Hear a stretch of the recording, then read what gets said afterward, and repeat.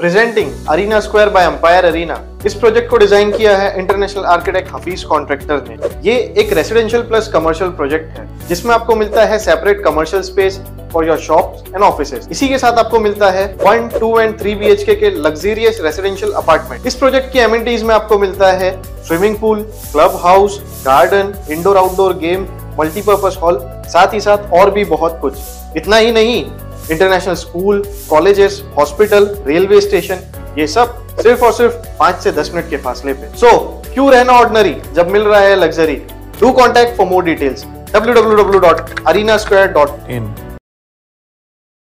पूरी बिल्डिंग को पानी देना चाहिए था। ये कैसे हो गया कि किसी को मिला उसमें किसी को नहीं मिला? ये भेदभाव की तरह हो गया। आप में क्या कमी रह गई कि लोगों को दूसरी तरफ़ जाना पड़ा? प्रेशर नहीं है पानी में तो फिर आप कनेक्शन लगा के भी क्या करेंगे? पानी नहीं आएगा। मैं उनसे आज भी ये रिक्वेस्ट करना चाहता हूँ वो बहनों से कि आप मेरे पास आइए। पानी जहाँ से आता है। आपके पास आइए अगर आपके पास नहीं आएँगे तो नहीं करेंगे।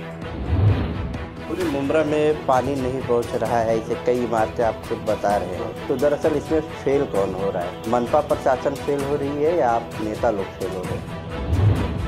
तब बुमरा कोसा के पानी का मसला अगर हल करना है तो मैं हंडे फोड़ दूँ मैं रोड पे बैठ के हंगामा करूँ। आंदोलन भी जब होता है ना तो शहर के लोग एक मज़ाक उड़ाते हैं आंदोलन करने वाले। कि ये लोग काम करने के बजाय जो है आंदोलन कर रहे हैं।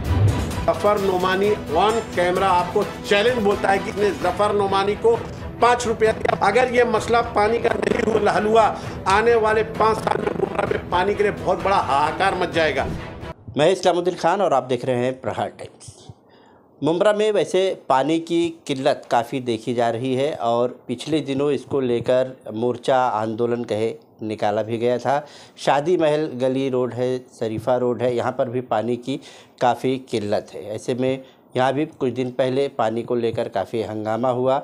पानी के लिए काफ़ी हंगामा हो रहा है। ज़फ़र भाई, आपने भी कई बार पानी के लिए आंदोलन किया है।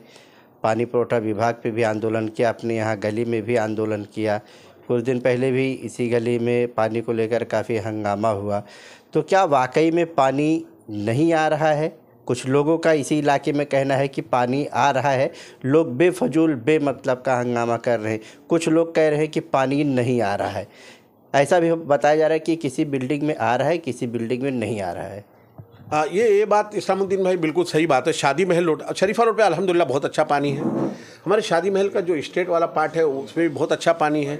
मुमरा इंग्लिश स्कूल में पानी नहीं आता था एमटेरियल कंपाउंड में मैंने पौना किलोमीटर की नई लाइन डाल के दिया। पानी बहुत अच्छा है।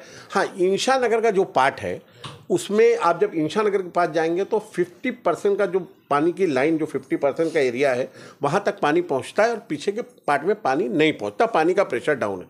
और जो आफ्ताब बिल्डिंग का मसला है, जो बिल्डिंग के लोग रूता अवार्ड मैडम के पास गए हुए थे, वो बिल्डिंग का मसला ऐसा है कि ना उसको नीचे टाकी है, ना ऊपर टाकी है और ना वहाँ टैंकर पहुँचता है।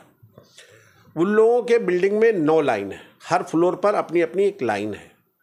पानी का प्रेशर जब नहीं रहता है तो पानी उनको नहीं आता, ये बात फैक्ट है। लेकिन उसी बिल्डिंग में मैंने एक बिल्डिंग इसी अपने ऑफ़िस के सामने से एक लाइन करा करके दिया है, उसी बिल्डिंग में उनको पानी आता है। मैंने उनको क्या समझाया कि आपको पानी नहीं आता ना, मैं आपको जहाँ से पानी आता है, वहाँ से लाइन शिफ्ट करके दे देता हूँ।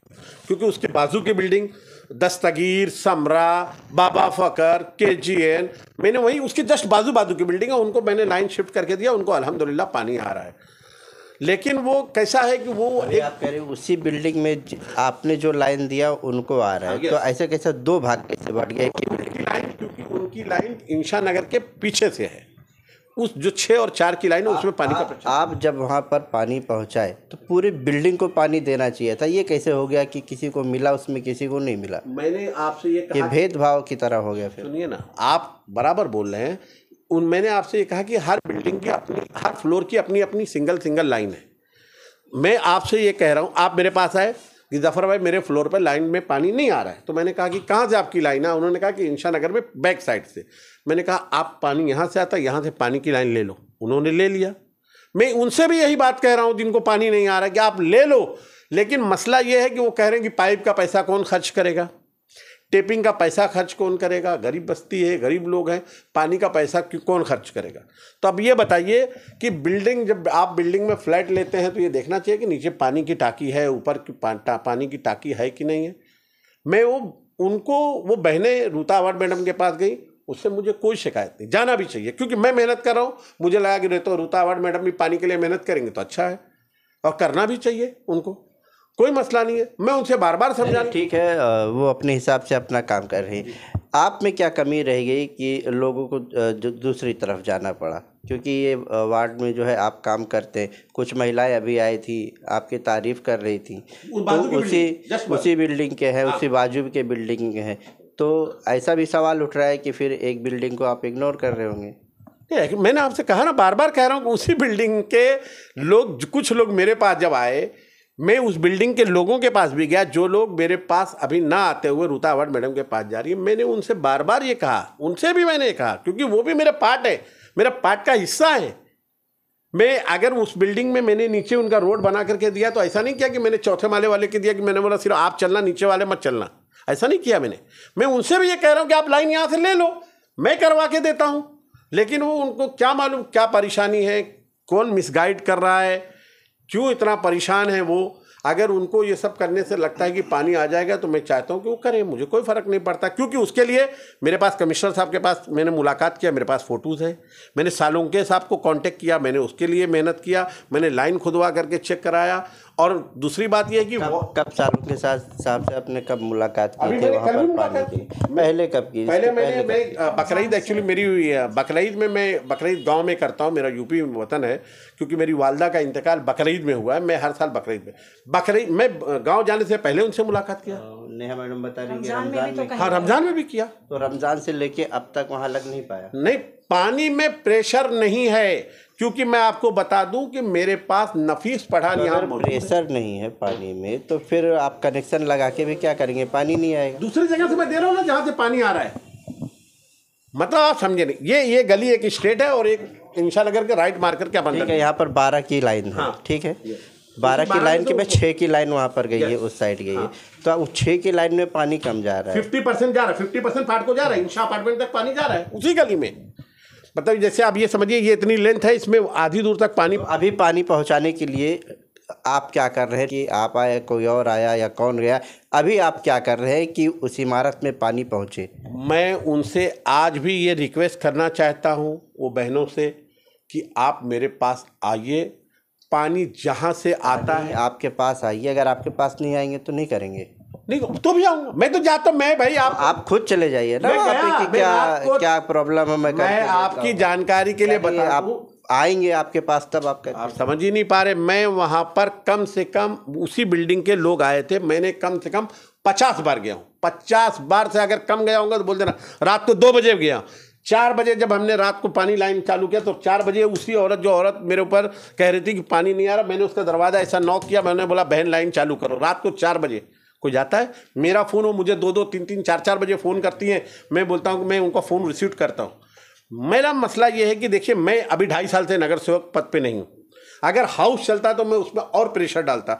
मैं बार बार सालुंगे साहब को बोलता हूँ, विनोद पवार साहब को बोलता हूँ कि इंशानगर को पानी नहीं जा रहा है। अब मैं आपको एक चीज़ और बताऊँ डीसीबी बैंक के पीछे P Q R Nasheman building है जस्ट पीछे बिल्डिंग है। दो महीने से उनको पानी का प्रेशर नहीं अभी कल हम लोग वहाँ पर गए हुए थे। नफीस पठान की बिल्डिंग में आठ दिन से पानी नहीं आ रहा था कल हम लोग जाकर के सालुंके साहब को मिले। रैम्बो बिल्डिंग चाँद नगर में है बैक साइड में पानी नहीं पहुँच रहा है। तो वहाँ के लोगों ने तो इस तरीके की कोई बात नहीं की। पूरे मुमरा में पानी नहीं पहुँच रहा है इसे कई इमारतें आप खुद बता रहे हैं। तो इसको क्या माना जाए? जो दस सालों से आप लोगों की यहाँ पर नगर सेवक हैं आप लोगों के विधायक हैं तो दरअसल इसमें फेल कौन हो रहा है? मनपा प्रशासन फेल हो रही है या आप नेता लोग फेल हो रहे हैं? मुझे तो ऐसा लगता है कि जो पानी का प्रेशर है, पानी की एमएलडी है, जो 52 टू एमएलडी बार बार महानगर पालिका ये बोलती है कि हम 52 टू एमएलडी मुमरा कौसा को पानी दे रहे हैं, वो 52 टू एमएलडी पानी नहीं आ रहा है। उसकी वजह ये बता दूँ कि वो कभी 40 48 कभी 49 कभी 50 ये एमएलडी रहता है। मुमरा कौसा के पानी का मसला अगर हल करना है तो मैं हंडे फोड़ दूँ। मैं रोड पे बैठ के हंगामा करूँ? नहीं होगा जब तक मुमरा कोसा के मसला उस वक्त होगा जब तक 10 एमएलडी पानी, कम से कम 10 एमएलडी नहीं तो 5 एमएलडी पानी बढ़ना चाहिए। तो क्योंकि पूरे दोस्ती के पीछे एक बहुत बड़ा मुमरा नया आबाद हो गया है दोस्ती से वहाँ में कल्याण फाटा से लेकर के मुमरा स्टेशन तक कम से कम टीएमसी के एक एक प्रोजेक्ट में पाँच पाँच सौ घर नए तैयार हो गए हैं। पानी जो दस साल पहले आता था, पानी उतना ही आ रहा है। तो पानी के लिए जब आंदोलन होता है तो होता क्या है मालूम है? मेरा पानी करके वो आपको ज़्यादा दे देते हैं। आपको पानी जब आप आंदोलन करते हो तो आपका पानी कम करके मुझे दे देते हैं। तो आंदोलन आंदोलन भी जब होता है ना तो शहर के लोग एक मज़ाक उड़ाते हैं आंदोलन करने वाले नगर सेवक कि ये लोग काम करने के बजाय जो है आंदोलन कर रहे हैं। ये इन्हीं लोग मुमरा में इन्हीं लोग के नगर सेवक है इन्हीं लोग जो है वहाँ और यही लोग आंदोलन कर रहे हैं पानी नहीं ला पा रहे। ये बात तो अगर आप ये कहना चाहते हैं कि नगर सेवक नगर सेवक की एक हद है। ये स्टेट गवर्नमेंट के जो मिनिस्टर होते हैं, जल मंत्री होते हैं, वाटर मंत्री होते हैं, उनसे लोगों को डेलीगेशन की शक्ल में जाकर के बात करनी चाहिए। और हमने कई बार कोशिश भी की, हमने कहा है अवार्ड साहब को कि साहब, और उन्होंने मैं देखा उन्होंने सदन में आवाज़ भी उठाई है मुमरा कौसा के पानी को लेकर के। और मुझे जहाँ तक नॉलेज ये हुआ है कि पाँच एम पानी मुमरा कौसा के लिए बढ़ा भी है। तो मैं उनका बहुत, जिन्होंने, मैं उदय सावंत साहब जो जल मंत्री है, मैं उनका शुक्रिया अदा करना चाहता हूँ। मुमरा कौसा का अगर पाँच एम पानी बढ़ गया तो इंशाल्लाह ये जो, देखिए, हर गली में राशरीन राउत मैडम ने साफ़ कहा उनके वार्ड में कि मेरे वार्ड में वो वार्ड पहाड़ पे गई थी। मैंने शायद आप ही की न्यूज़ में देखा था, किसी की न्यूज़ में देखा था।